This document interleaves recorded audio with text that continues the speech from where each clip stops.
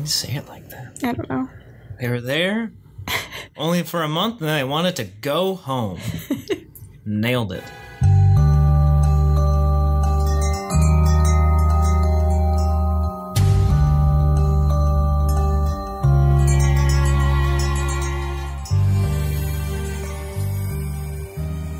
I'm Skye, I'm Kyler. and this is Histories, Mysteries, and Conspiracies. You should just sound a little more excited about being here. Whoopity doo. If you hear light thumping in the background, that is Milo, uh, the cat, just swatting his tail because he wants attention and he's not getting it. Today, I'm talking about the unsolved mystery of the Roanoke colony. How much do you know about the Roanoke colony? So the only thing I know about it is that there was this colony, right? And uh Yeah, I know it. yeah, you, you've heard.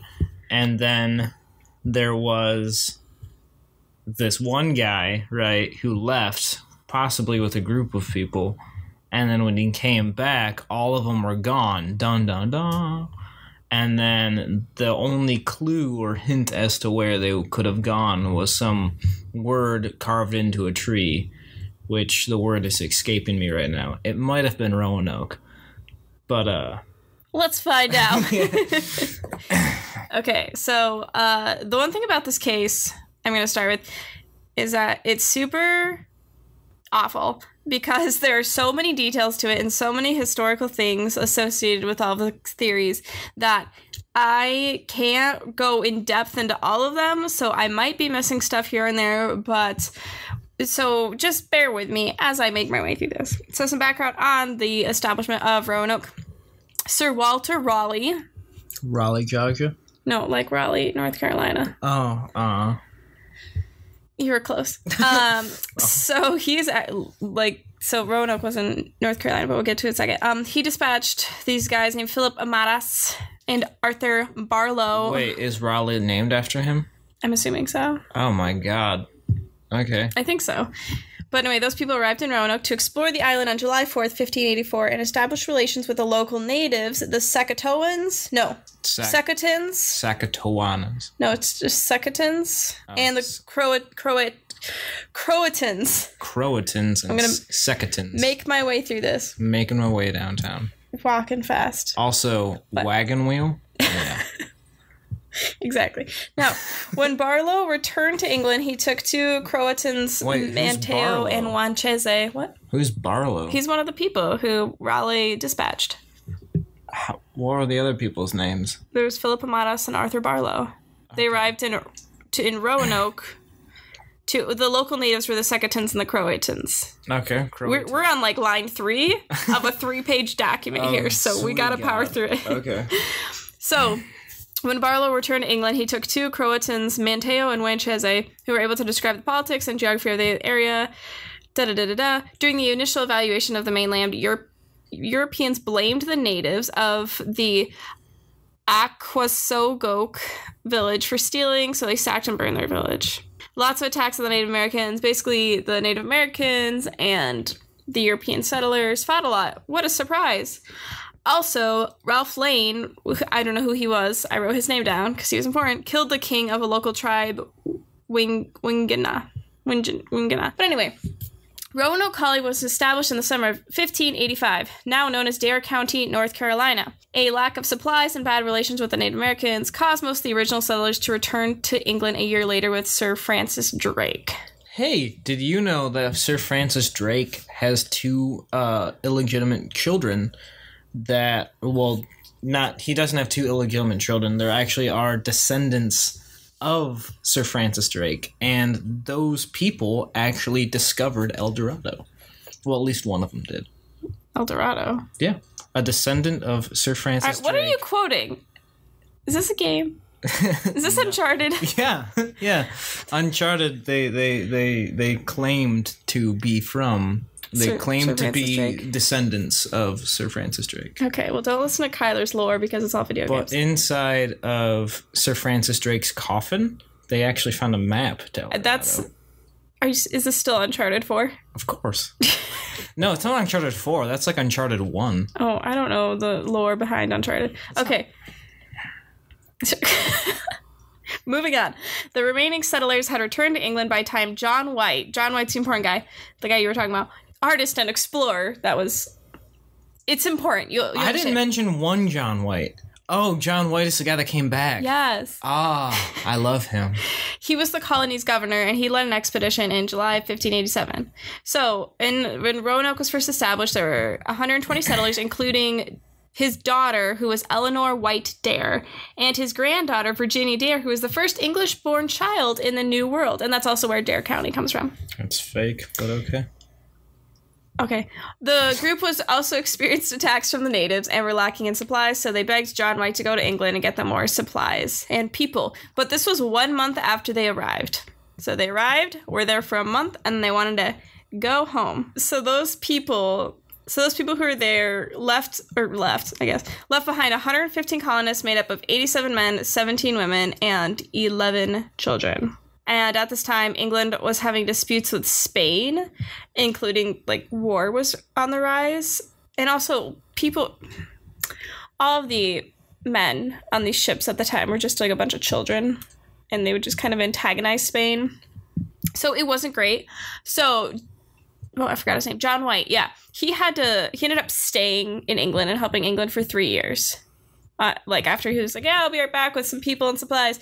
He leaves, doesn't come back for three years. So when he finally came back to Roanoke three years later, he found the entire colony was gone, and all that remained was one man's bones and the word Croatoan carved into a fence post and crow, so C R O, carved into a tree and all of the houses and fortifications were dismantled, suggesting that they were not in a hurry. Except for the fence. They carved it into the they carved Croatoan into the fence post. Yeah, but You all can- man-made structures are dismantled. Houses and fortifications. What's a fortification? A fence. Yeah, I guess. I don't know. But anyway, so but this is important. Before John White left, he instructed the colony that if their if their absence had been forced, which I, if they're so if they're attacked or if there's a hostage, hostage situation, then they carve a Maltese cross on a tree. And he didn't see any trees. Do you know what a Maltese cross is? I'm gonna guess the the the cross that they use for uh, the Knights Templar. It's this thing.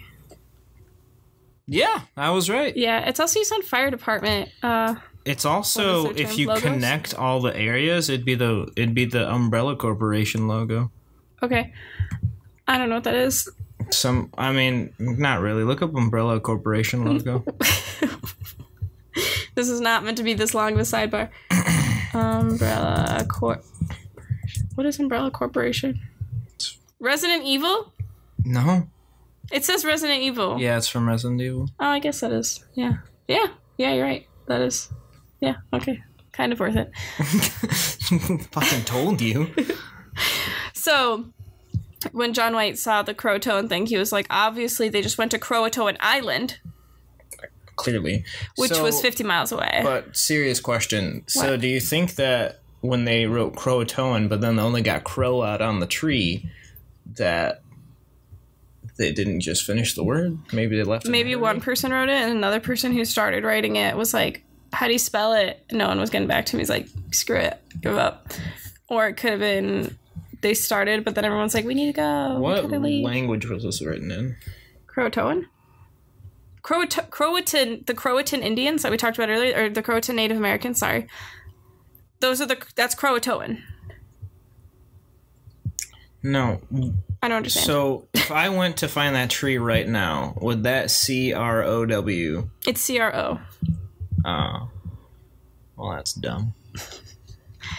So he thought it was Croatoan Island, which was 50 miles away. So he tried to sail there, but he tried to sail there twice, and neither times he was successful. Uh, there kept being storms and stuff, and he couldn't try again because the ship that he was on was privately owned.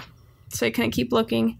But 12 years later, an expedition led by Samuel Mace was supposed to investigate this because people were still like, where the heck are these people?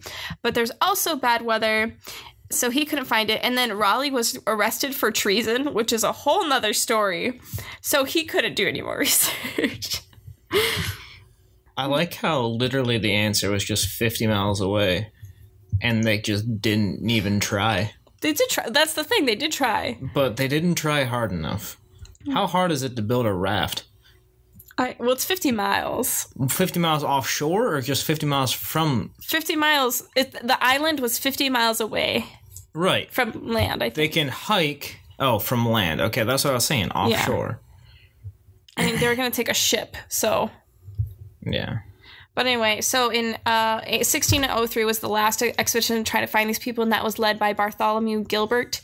And they also had bad weather, so they couldn't get there. And then what happened was the landing team was killed by a group of Native Americans for unknown reasons, and the remaining crew were forced to return to England. Also, England was trying to find these people because it's their colony, but also the Spanish were trying to find these people because They wanted to kill them. Basically.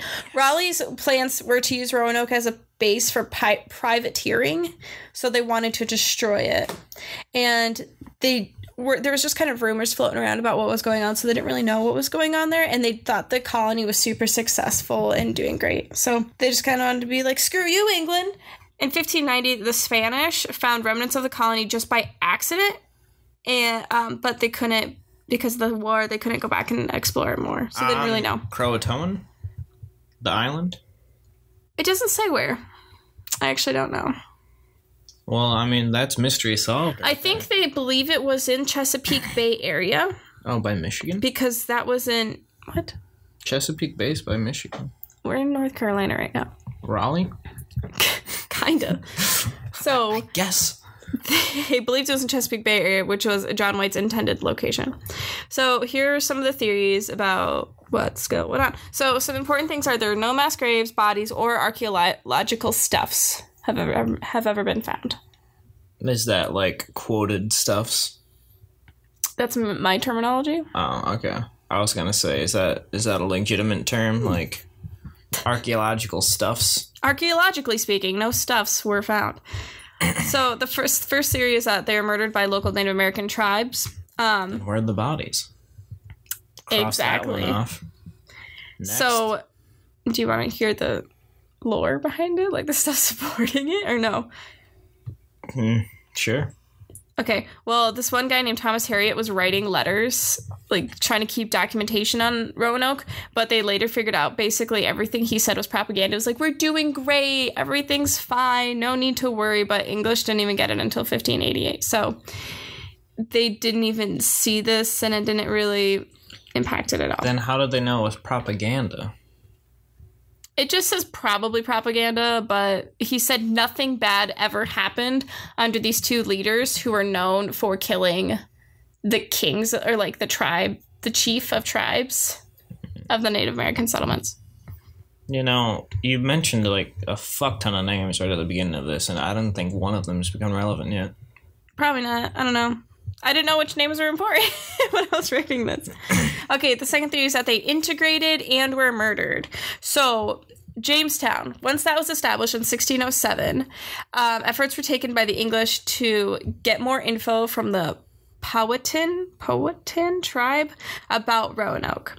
And John Smith, like Pocahontas John Smith, leader of the, the Jamestown colony, he was the first one who got this information and then samuel Purchas was the guy who was a chronicler just kind of keeping uh, Is, is things up to date too? i don't i don't know i haven't seen pocahontas in a while Is that is that uh the one the the kid played by um the kid with the hat Christian Bale? is he Christian? I don't know. Christian Bale's in Pocahontas. i didn't know He that plays a little tiny kid. I don't think he has any lines. What? how does that work It's I don't know, but it's accurate. It's hundred percent accurate. okay well Google anyway it if you don't believe me. So, according to Samuel Purchas, Smith learned from Chief Powhatan that he that Chief Powhatan murdered all the Roanoke people. So, but he murdered all of them after they had let they began to integrate into the Chesapeans tribe. So the Roanoke people went, lived with the Chesapeans, and then right before the Jamestown people got there, Chief Powhatan was like, uh uh Who's and Chief Powhatan for? them. Who's he representing? Powhatan tribe? Powhatan tribe, and Yeah. he didn't like the uh the Chesapeake tribe. It was Chesapeans. Okay, Powhatan did this slaughter. I don't know. Directed the slaughter. He he did the slaughter. Yeah, he was D2S. Be- because of prophecies by his priests that he would throw he would throw he would overthrow. No i'm wrong. He would be overthrown by people from the Third area. third time. I'm just gonna say that so yeah so there no bodies were found no archeo- archaeological evidence was ever found to support this claim. Uh, but recent examination re-examinations of the Smith and Strachey, who are just people who document crap, and you know John Smith, sources advanced by author and researcher Brandon Fullam has suggested that the massacre described by Powhatan was actually of the 15 people left by the first Roanoke expedition. So it did happen, but the people that he killed were, if you remember, going back to our initial history, like a small group came. And then it was the second big group that disappeared. So they said it was the first uh, small group, which actually that first small group also disappeared, but that doesn't get brought up a lot. But they also disappeared. All right, I'm assuming the second conspiracy theory is ghosts and or aliens. These are just theories of what happened, not necessarily conspiracies. The next one is just integrated, so they just joined a tribe. Oh yeah, skip to the aliens. The aliens aren't an option. I know they're an option. They aren't All right, well, okay, new conspiracy theory. You're welcome. aliens. Aliens. aliens that know how to write in possibly English. They at least know three letters. C R O. Yeah. I So mean, R is a menacing letter. That's why it's called murder, And not not muck duck. duck. the next series that they were just integrated, and Dr. David Beers Quinn theorizes that the colony just integrated to the tribes. The uh, colony did have boats, so literally they could have just went over anywhere. I mean, they weren't like great boats, but they were they were decent boats. Could they uh boat fifty miles? Well, the thing was, there's a bunch of islands right there, so maybe not necessarily Croatoan. I mean, they could have like went to Croatoan. They could have went there, but they also was the Choanoke tribe was close by, um, and that was also attacked by another tribe. And there was a map in um, made in 1607 by Francis Nelson, who was a Jamestown settler, and his map literally says on it four men clothed that came from Roanoke, which I think was how you sounded out to spell Roanoke. No, that's a bit of a stretch. But he says that those men were living in the Iroquois site on the Neuse. And then also William Strachey wrote that that some of the Indian settlements or some of the Native American settlements had two-story houses with stone walls, which they supposedly learned how to do from Roanoke settlers. Hmm. Just stuff like that. So randomly saw white people around, Native Americans, things like that, weird rumors between tribes, da da da da da. You get the idea. Oh, and also some of the ancestors l- looked like a combo kid of Native Americans and the English settlers. So I, I feel like there's a lot more integration that happened than we choose to acknowledge and or realize now, sort of thing. Just gut feeling, you know. okay. then or then okay. Yeah, I'm. I feel like Native Americans and white people. I mean, have you seen those representations of what Thanksgiving looks like? I feel like that is fairly accurate. You know, What are you on? life. Okay, well the next theory is that the Spanish just attacked them. The next theory is that Skip right over that one. No literally there yeah there's not much to that one then there's something called the dare stone so from 1937 to 1941 a series of inscribed stones were discovered that claimed to have been written by eleanor dare who was mother virginia dare first mama to give birth to english baby on the new soil you know that person so these inscribed stones told of the travelings of the colonists and their ultimate deaths Now, how far away were these inscribed stones from Roanoke? I don't know. I actually don't know a lot about these, but most historians think they're fake. Were they on the ground? Maybe. I don't know. Most Yeah. people think they're fake. Is this like? Is this like Curse of Oak Island shit? Well, they did find one. Well, the very first stone they found like based on tests and linguistic and chemical analysis, they think that one could be legit, but they're the rest of them they're like it's probably not real. It might be Oak Island stuff. I don't know. Okay, the next one is the Virginea Pars map. So, there's so many map things. In May of 2011, Brent Lane of the First Colony Foundation was studying the Virginea Pars map, which was made by John White. Remember, John White, artist and explorer. So the artist part was he made maps. It comes back around. Ah. Yeah. I'm glad for your excitement. During this map, there were two patches, which Brent Lane found, where the map had been corrected. And these patches were just made of like different paper, so you could kind of see through them. So like wax paper shit? No, it's just like like have you seen? You know, have you seen? Psh, you've seen National Treasure, so it's kind of like just looking through it, and they were able to see that there is a large square-shaped symbol with oddly shaped corners. Fuck you on about National Treasure. When they looked through the the Declaration of Independence, With glasses. well, still. Ben Franklin's bifocals. Speaking of Ben Franklin, when you actually, look through a, hun- a hundred dollar bill and you see Ben Franklin's face, Uh huh. it's just like that. It comes back around. so You didn't even start with that in the first place. I misremembered the what's it called?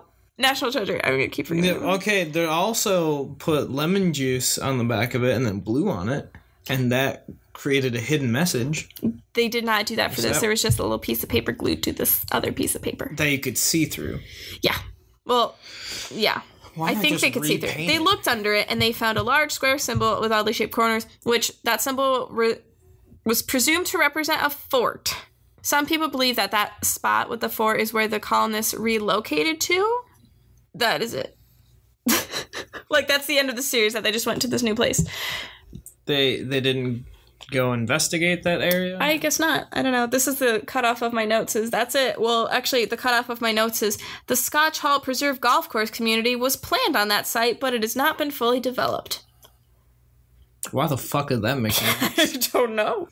The last one I have are climate factors. So they looked at tree rings and found that the worst drought that had happened was while the people were there. So they probably just had to leave because they had to find food. But right now, there's current investigations going on that they're trying to figure out what happened by looking for ancestry. So there's the Lost Colony of Roanoke DNA Project, which was founded in 2007 by a group led by Robert Estes, trying to find DNA links to the colonists to kind of see if the integration theory holds up. Right now, they have not found any links, but yeah, I don't know. We'll see, I guess. We could put the link in the show notes because those are a thing now.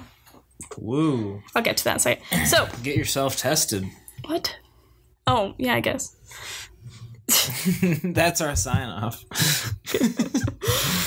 Oh dear. So the sources I used for this are NPS.gov, Britannica Encyclopedia, and History.com. Now, what are your ideas? I don't think that they were killed. I also don't think they were very there for very long. I think maybe a couple months, however long it took for them to uh I mean, they probably weren't there very long, considering they were there for a month before they made John White go back to get them more stuff. yeah, see, and considering the fact that only one person was found, I'm assuming that it was one person died in the entire history of the colonization or colony. And that at least to me signals the fact that they probably just left.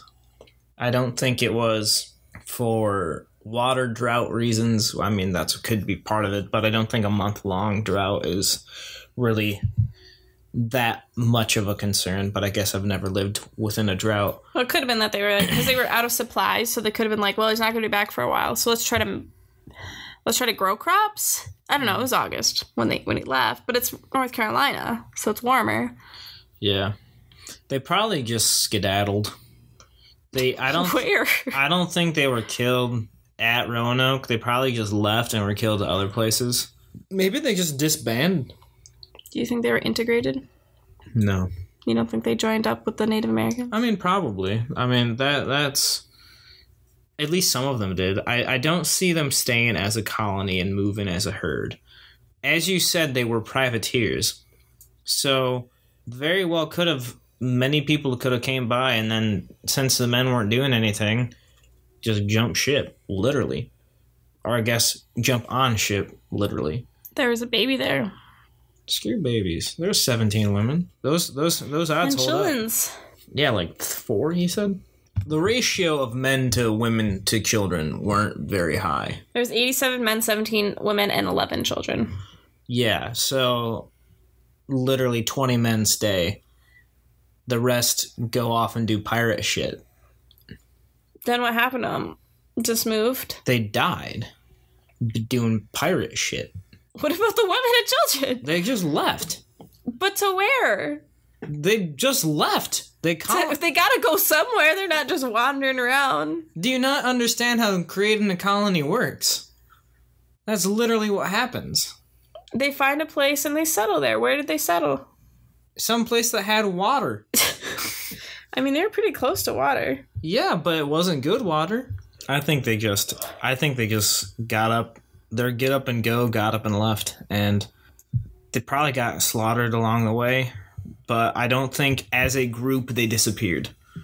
I feel like it was probably like we're leaving, one goes, the other goes, the other goes, and then oh, there's only 30 of us left. Let's all just beat it. Because that's how colonies work.